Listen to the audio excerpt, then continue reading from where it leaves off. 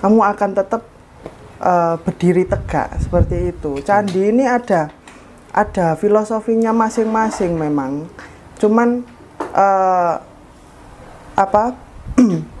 kadang orang berpikir bahwa itu adalah tempat ibadah umat Hindu atau yeah, umat yeah, Buddha yeah. gitu kan. Lah candi sendiri ini kan sebenarnya tempat ibadahnya orang Jawa, hmm. orang Nusantara.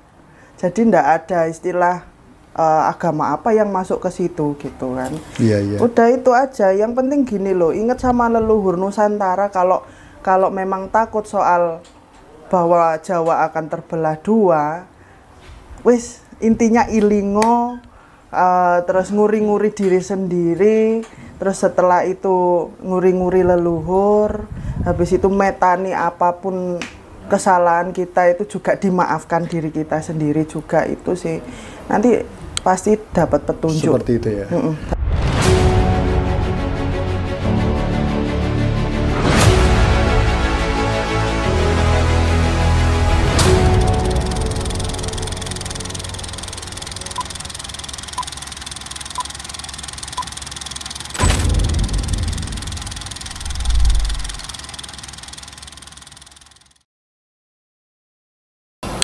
Rahayu Diajeng. Ya, Rahayu. Selamat sore.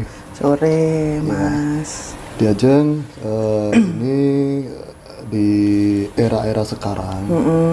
itu banyak, terutama itu anak-anak yang milenial atau kekinian itu banyak yang bingung. Jadi mereka itu bingung, kadang mencari jati diri, kadang mencari keyakinannya atau apa ya titik fokus kepada sang hyang atau ilahi. Nah, uh, menurut Di Ajeng teknik untuk mencari Tuhan itu seperti apa? Ya, ya, teknik untuk mencari Tuhan. Oke. Okay. Semua itu dikembalikan memang uh, terentek hati ya untuk pencarian itu dan uh, prosesnya memang harus ada uh, greget untuk untuk mengetahui jati diri dan juga nanti setelah itu baru akhirnya akan berproses gitu.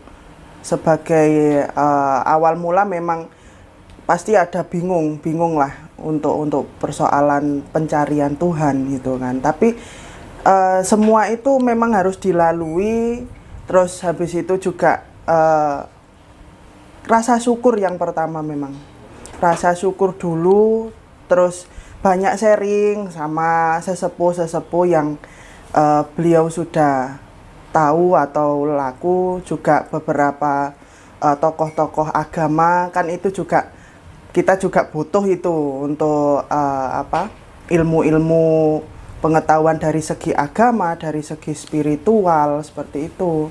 Ya memang rumit mas. Awalnya memang rumit. Tapi uh, bagi yang ingin mengetahui teknis dari Tuhan itu sendiri melangkahlah untuk untuk cari tahu banyak memang soal energi Tuhan, cahaya Tuhan, terus setelah itu partikel Tuhan itu seperti apa, terus uh, apa soal uh, rup apa ya kalau kita bilang sih Eh, energi-energi uh, dari alam semesta ini yang bisa yang bisa kita kupas soal ketuhanan itu yang seperti apa. Ya memang harus banyak sharing. Jadi tidak bisa kita jalan sendiri gitu. Banyak banyak sharing anak-anak muda sekarang. Harus itu. Nah, ini untuk menjawab terkait apa namanya pertanyaan anak-anak muda ya hmm. biasanya anak muda itu lebih berpikir secara rasional bukan irasional Benar. Ya. ketika mereka bertanya Tuhan itu seperti apa dan di mana bentuknya seperti apa misal hmm. nah itu kan kita bisa uh, harus menjawab uh, secara apa namanya logika logika nah itu ketika mereka bertanya seperti itu gimana caranya menjawab mungkin uh, Diajeng bisa mewakili pertanyaan dari oh, iya iya iya memang uh, yang kita ketahui sekarang kan Tuhan ini goib, maha goib yeah. kan gitu. Digambarkan seperti apa pun uh, kadang ini ndak ndak bisa sampai masuk di logika tapi yang yang buat uh, kita bisa meyakini uh, adanya Tuhan itu ya adanya jagat ini gitu. Adanya jagat ini. Jadi uh, seperti ini loh. Kita itu jadi ini ya sebagian kecil ya contohnya. Kita ini kan juga percikan-percikan Tuhan. Yeah. nah terus kita pun bisa menciptakan sesuatu yang tidak ada. Contoh HP dulu ndak ada kenapa kok sekarang ada gitu kan? Nah itu kan berarti uh, Tuhan pun bisa di bisa diibaratkan bahwa uh, energinya itu ya bi yang bisa merasakan ya hanya diri kita sendiri gitu. Karena ya itu tadi sesuatu yang tidak ada pun akhirnya ada di Tuhan itu itu langkah-langkah atau caranya itu seperti apa? Untuk merasakan bahwa energi nah, Tuhan itu ada. gini jadi kalau soal itu memang harus meditasi mm -hmm. hening. Nah, kenapa sih uh, leluhur kita atau uh, beberapa orang yang sudah lelaku beliau itu mencari sampai mencari Tuhan itu sampai sampai harus direwangi topo gitu kan, harus direwangi uh, apa? jalan berapa berapa mil yang ditempuh seperti itu. Itu kan hanya untuk ingin tahu apa uh, persoalan tentang keajaiban ataupun petunjuk dari Tuhan. Pengen tahu memang yang yang apa ini yang menyampaikan juga goib. Iya, iya. Entah itu dari diri kita ataupun dari luar. Kan gitu. ya tinggal tinggal perkara keyakinan itu memang ada di diri kita sendiri. Nggak bisa sih kita disuruh-suruh ataupun uh, meyakini bahwa omongan orang ini benar gitu karena kita pun nggak mengalami hal itu ya istilahnya kamu pun berani bersaksi ya harusnya kan kamu udah menyaksikan seperti gitu kan ya. seperti itu kan ya. Kamu belum ngelakoni. Oke mbak, uh, bicara tentang keyakinan atau kepercayaan ini kan akhir-akhir ini kan banyak yang merumorkan atau mengisukan bahwa tidak lama lagi Pulau Jawa itu akan terbelah menjadi dua. Itu menurut Diajeng sendiri pandangan hmm. seperti itu seperti apa?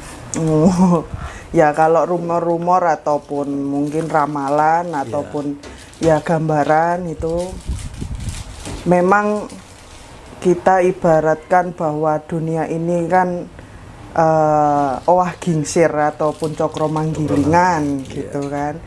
Jadi memang uh, peleburan ataupun nanti uh, kelahiran kembali itu pasti ada. Mm-hmm. Memang fenomenanya pasti menakutkan istilahnya, yeah. tapi uh, itu sudah jadi apa ya kehendak lah istilahnya sudah jadi kehendak gitu loh. Memang harus terjadi ya sudah. Yeah. Karena gini ya, uh, permisi uh, banyak orang berpandangan uh, para spiritualis itu seolah-olah itu banyak yang menakut-nakuti tentang rumor seperti ini kan banyak iya. orang-orang yang mengatakan atau spiritualis yang mengatakan bahwa Pulau Jawa ini tidak lama lagi akan terbelah. Nah, titik temunya mungkin di abad sekarang ini. Nah, untuk menjawab itu uh, Diajeng mungkin Diajeng bisa apa ya uh, menambahkan supaya masyarakat itu tidak enggak resah berlebih ya? untuk uh -uh uh, rasa ketakut. Rasa takut. Uh, ya, itu. Ya. Gimana itu? Gini kalau soal apa pun nanti yang terjadi itu sudah takdir terus gimana sih caranya kita bisa uh, istilahnya sudah waspada terlebih dahulu gitu kan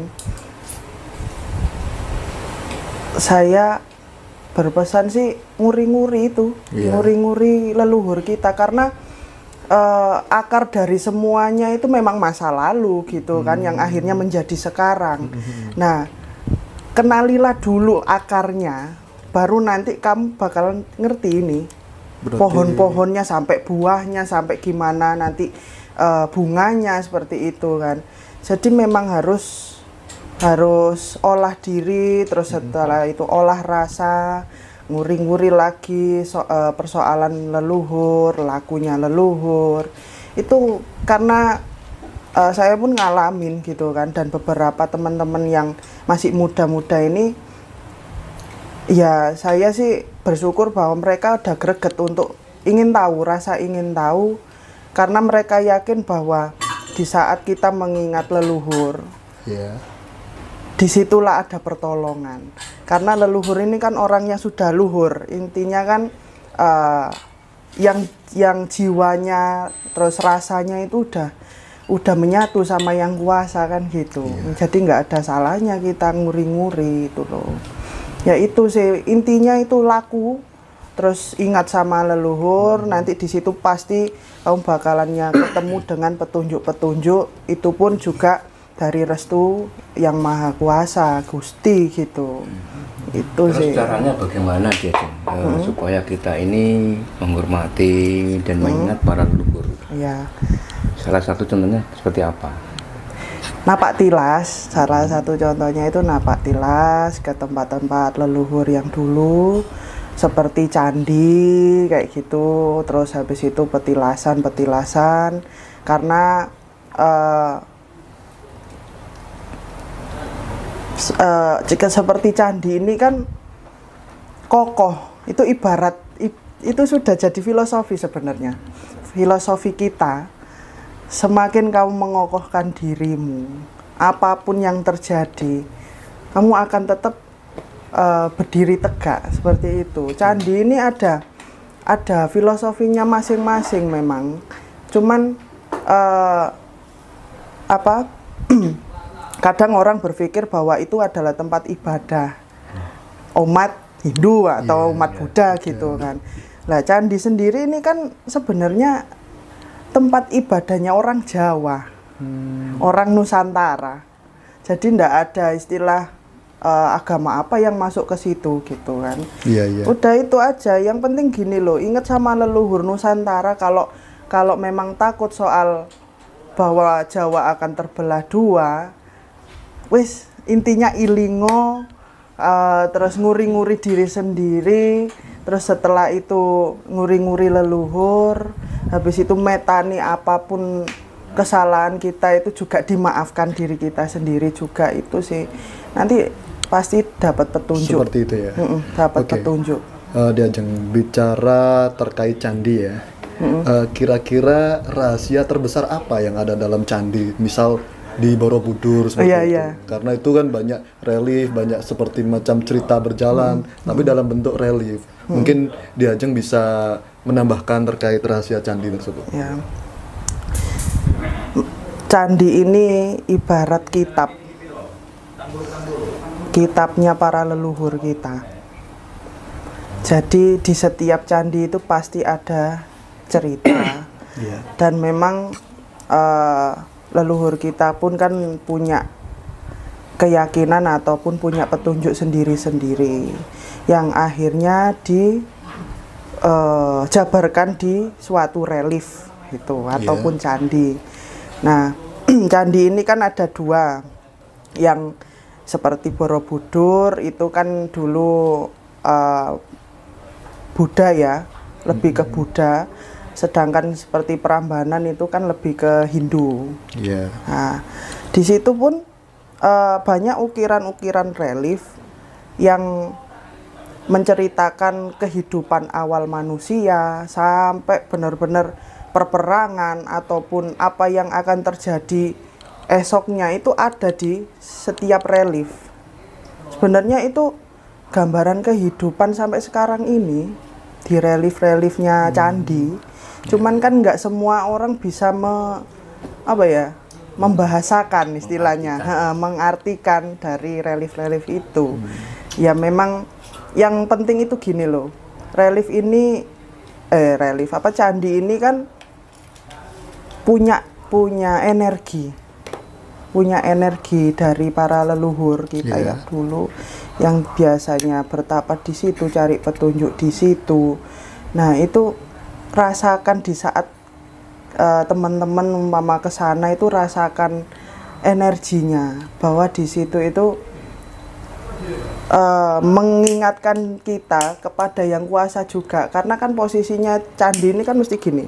Iya. terus habis itu arahnya ke mana kayak Borobudur arahnya pun berbagai arah gitu hadapnya patung itu kan. Ya, jadi di mana pun kalian eh, beribadah ataupun sedang bersemedi dan madep mana pun ya itu yang penting itu antara diri dan Tuhan itu tetap eh, konsen lah kita. Istilahnya kita lebih lebih konsen untuk mencari apa ya istilahnya petunjuk gitu. Yang di candi itu eh, lebih lebih kalau saya ngomong kalau candi ini lebih kusuk. Kita dapat dapat eh, gambaran atau petunjuk ataupun juga eh, kilas balik umpama pengen tahu karma itu karma yang dulu itu lebih enak sih kalau di candi. Energinya memang energi luar biasa gitu loh. Oke.